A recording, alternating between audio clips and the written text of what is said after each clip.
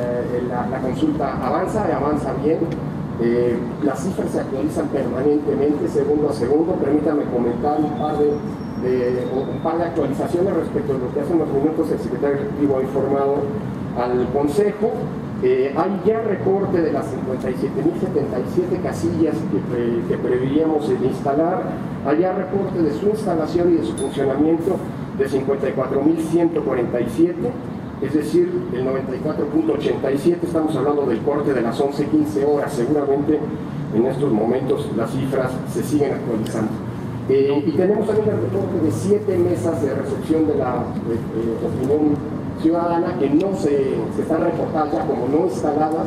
A las cinco que se mencionaron hay que sumar dos más que, este, en Comitán y Chiapas por decisiones eh, de las comunidades, desde la noche del día ayer se había señalado que no se participaría en esa comunidad y que no permitirían la instalación de las casillas. Estas casillas no se han instalado, eh, todavía el, sistema de información de la consulta popular sigue arrojando cifras, ya lo mencionaba el secretario ejecutivo, tomen en cuenta que hay estados eh, que por su uso horario están todavía en una etapa, digamos así, de pendiente de reportes.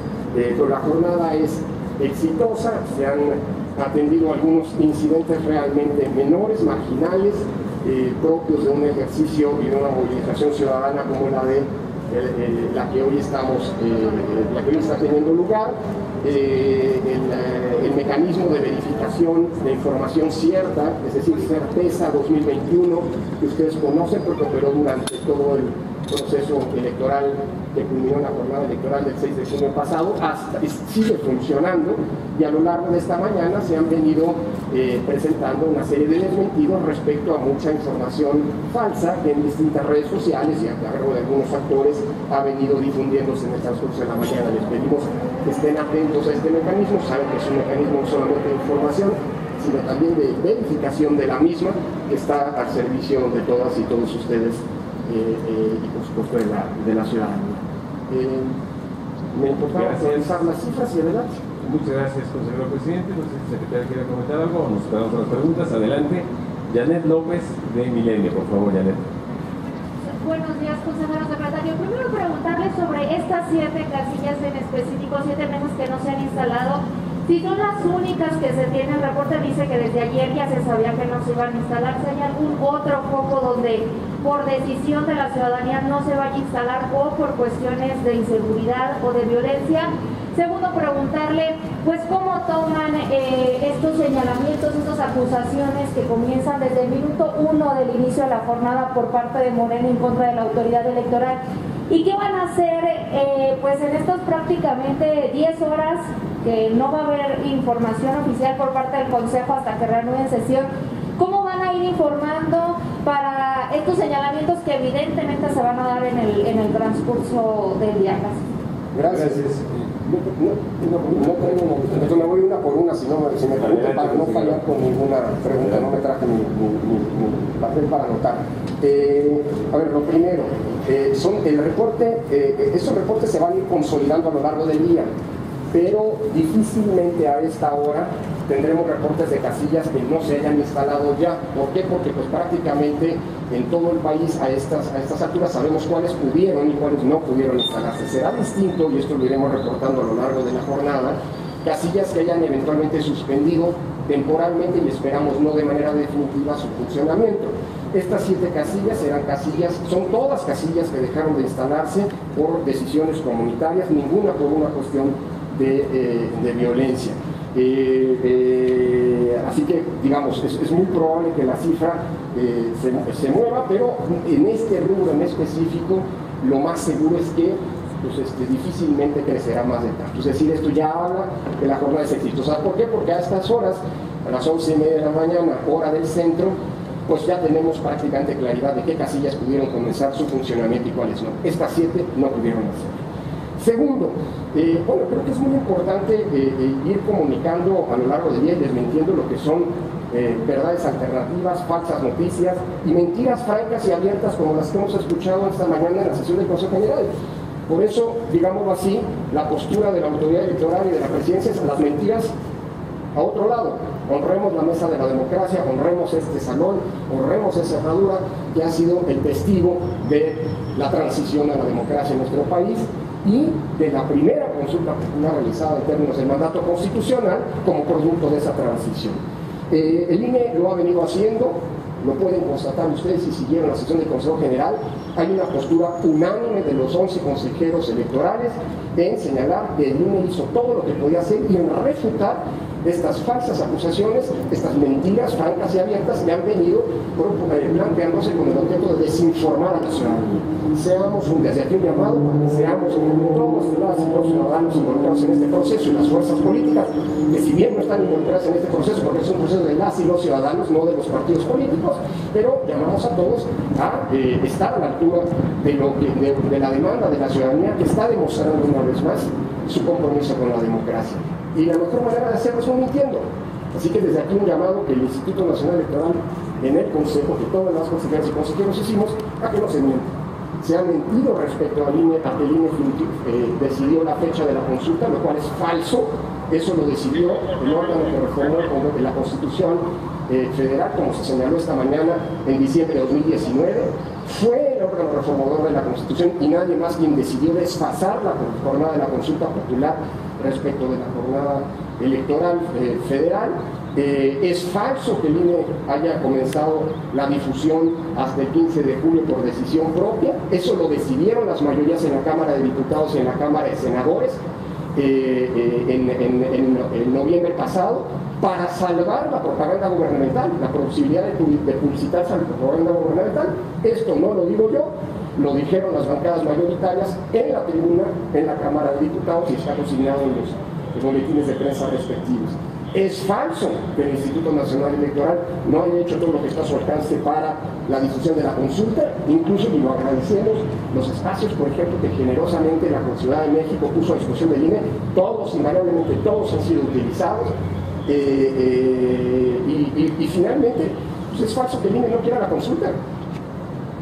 No que quien no quiera la consulta y quien esté mintiendo está, es realmente quien está saboteando, tratando de sabotear la consulta y tratando de generar una narrativa en contra de una institución que sabe trabajar y que tiene aprecio de la ciudadanía como es el Finalmente, Janet, eh, a lo largo de la jornada electoral estaremos emitiendo una serie de, comunicados de prensa con la actualización de la información.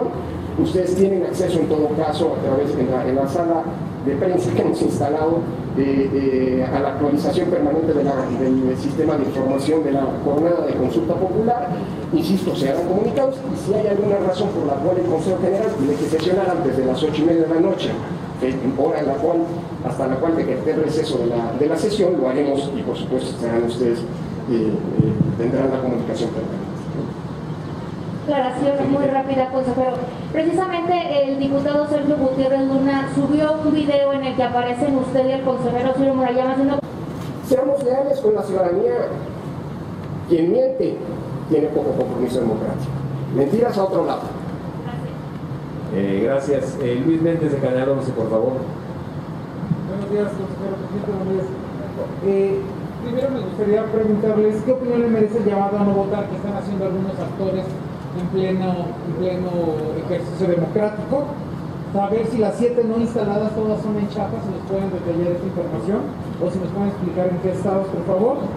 Y eh, hay eh, una información que circula en redes de que eh, le comento tal cual, si las personas hicieron su trámite para ser inscritos en el padrón electoral y tienen la constancia, no se les puede negar el derecho a votar aunque no aparezcan en el padrón. ¿Es cierto esto? ¿Es también parte de una fake news? Que se está dando y aunque el equipo de comunicación ya aclaró que la casilla donde iba donde tendría que haber votado el presidente de la República no fue instalada, eh, parece que ya se actualizó la información, pero si tiene algún dato diferente o que contribuya a desmentir esa noticia. Muchas, muchas gracias, Primero, Luis, perdóname, Luis, Luis, es que este, como me cancelaron la entrevista que habíamos pactado, me estoy explicando. No es cierto, gracias Luis, al contrario. Este, a ver, lo primero, eh, ojalá y los llamados a no votar, a no participar, pues ojalá y, digámoslo así, no surtan el efecto frente a la convocatoria a votar. Este es un ejercicio democrático, por supuesto, estamos en un sistema democrático y es válido que la ciudadanía se exprese. Ojalá y la ciudadanía acuda masivamente, está listo todo para recibirlas y recibirlos como ciudadanos para que se manifiesten en, un ejercicio de esta trascendencia, pero en todo caso, bueno, pues este, este, en un sistema democrático hay quien públicamente ha manifestado su eh, oposición no solamente a la, realización de este tipo de ejercicio, sino concretamente al tipo de pregunta que la Suprema Corte de Justicia nos ordenó consultar.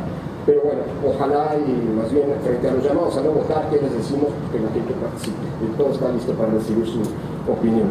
Segundo, las siete, las siete casillas corresponden eh, a, a casillas que no pudieron instalarse en Chiapas, en Veracruz y en Baja California California, dos en Chiapas, si no me equivoco, y el otro en, Veracruz. en fin, ahora detallamos la, información de manera mucho más precisa, pero se trata de estas seis entidades en donde se ubican estas siete eh, mesas, que no son casillas.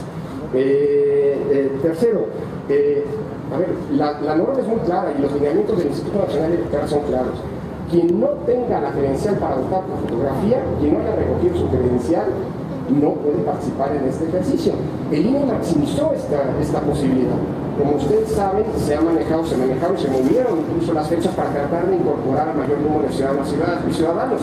No solamente los que pudieron votar el 6 de junio pasado, incluyendo las credenciales que caducaron en 2019 y 2020, que son válidas para poder ejercer el, el derecho a la consulta el día de hoy, sino también incluso ampliamos el plazo para que las y los ciudadanos, que jóvenes que se cumplían 18 años y que hicieron su trámite para inscribirse al listado nominal, y al listado nominal correspondiente, eh, después de la jornada del 6 de junio, pudieran hasta el viernes, hubieran recogido hasta el viernes pasado al pie su credencial para votar. Es decir, quien tiene su credencial para votar puede votar. La constancia no es suficiente para votar, a menos que haya una sentencia de las salas del Tribunal Electoral que nos ordenen este, permitir el voto. Pero esas son las condiciones, eso está claro, ha ocurrido, así ocurre en una, en una jornada electoral, en las elecciones eh, federales, así está ocurriendo en esta consulta popular.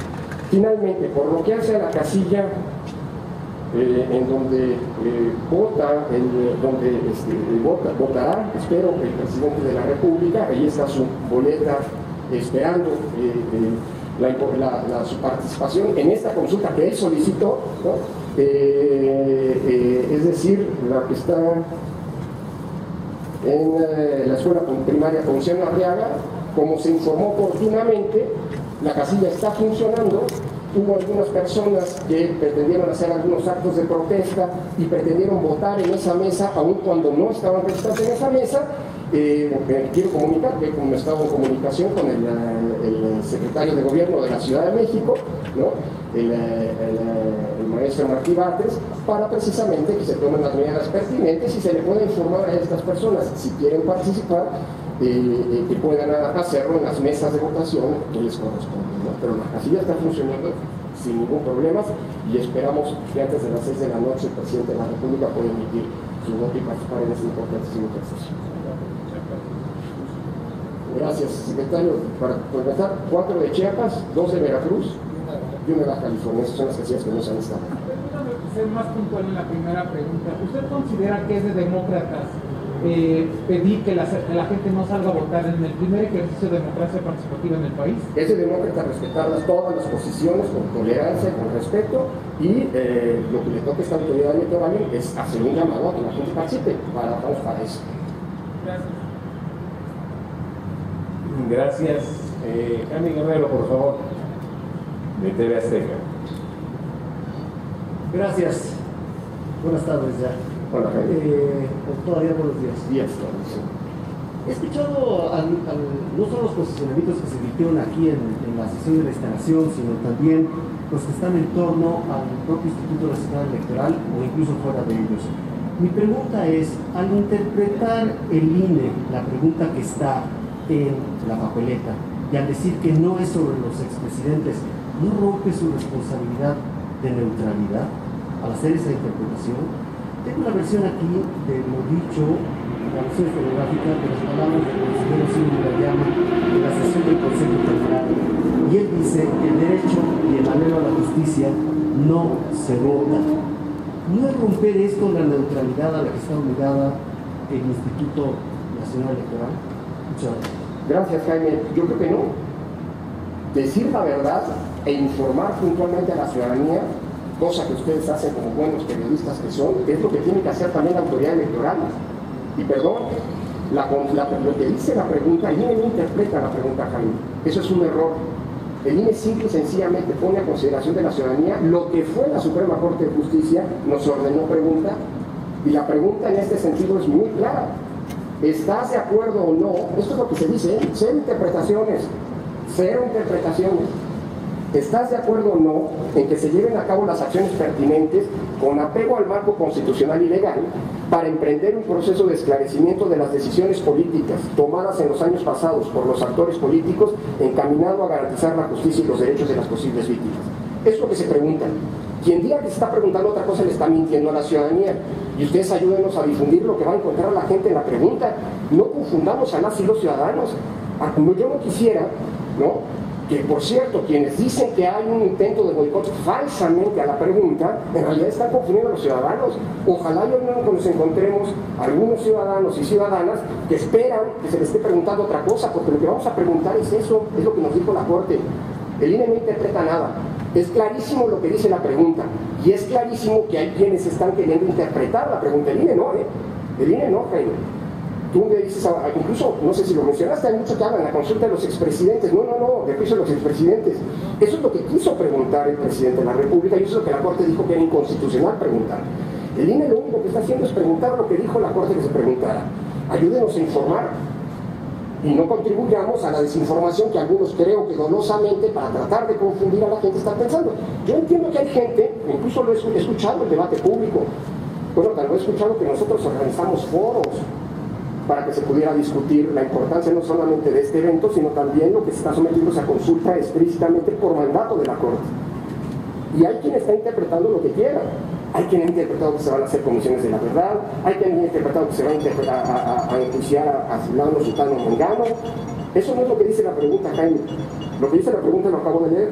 Y eso es lo que estamos preguntando. El INE no interpreta, el INE no hace ninguna interpretación. Quien diga que el INE está interpretando, miente. Una vez más. Y digámosle como demócratas que somos todos aquí, no a las mentiras. Las mentiras a otro lado. Esa es la pregunta, y eso es lo que le vamos a preguntar. Quien diga otra cosa, le está mintiendo a.